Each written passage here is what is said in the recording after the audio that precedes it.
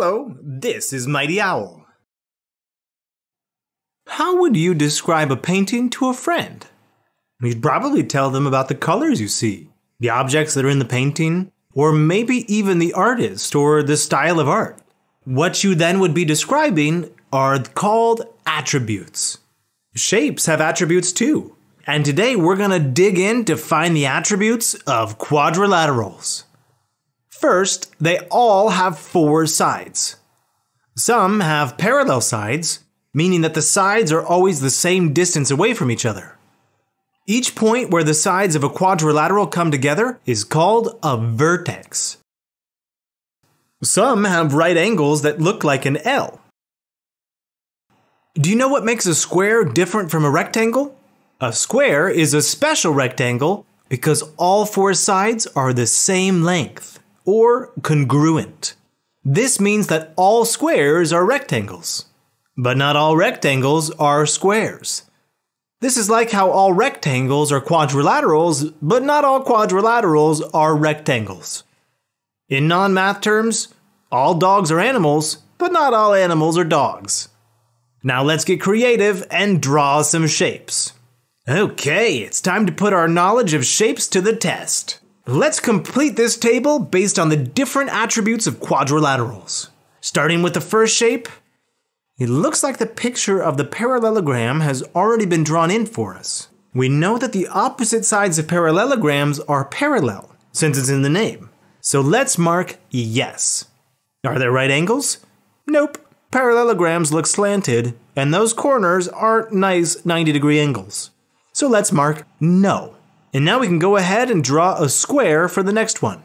We know that the opposite sides of a square are congruent or equal in length. So let's mark both of those blanks with yes. Next up is a trapezoid. Do you remember what this shape looks like?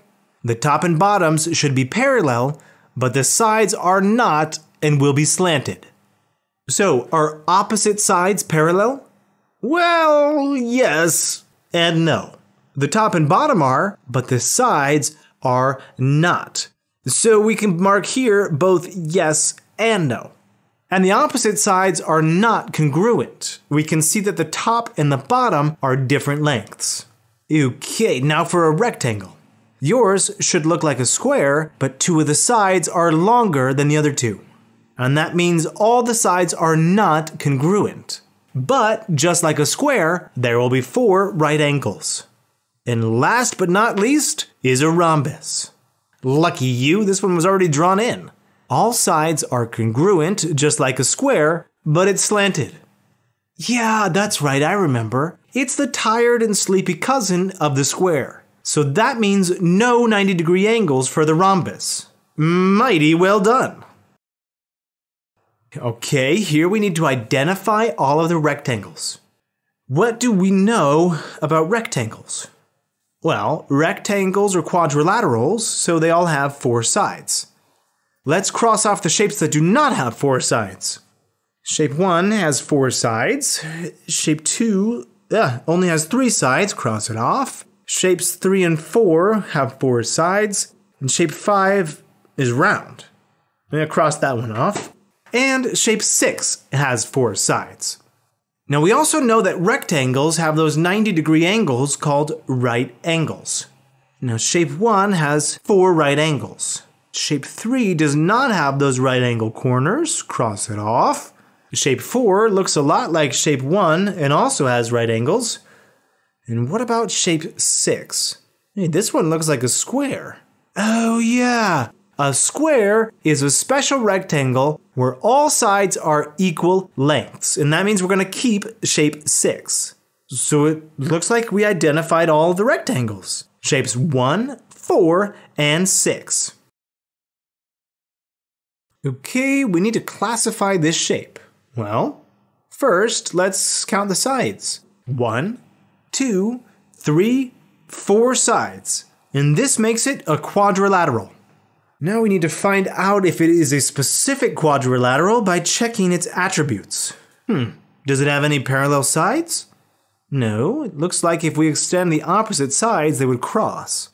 Are any of the opposite sides the same length? Nope, doesn't look like it. Do the sides meet at any right angle corners? No. Well, it looks like this is not any special type of quadrilateral. And that means we can classify this shape as just a quadrilateral. I am a quadrilateral with at least one pair of sides parallel. Circle all shapes that I could be. Ooh, a riddle! This is going to be fun. All right, the first part of the riddle reads I am a quadrilateral. And that means we're looking for shapes with four sides. Um, shape 1 has four sides, shape 2 has four sides. Looks like shape 3 has five sides, too many, cross that off. Shape 4, ooh, too many sides too, cross it off. Shapes 5 and 6 each have four sides. All right, we've narrowed down our list. The next clue says it has at least one pair of sides parallel. Well, if we extend both pairs of opposite sides of shape number one, they won't ever cross each other. Hey, this shape fits the riddle, let's circle it. Shape two, the sides on the left and right are slanted and looks like they'll intersect or cross each other if we extend them. Oh, but wait, the top and bottom are straight lines that are the same distance apart. And this means that the top and bottom sides are indeed parallel. So we can circle shape number two. Shape number five has both pairs of opposite sides parallel too. Let's circle it.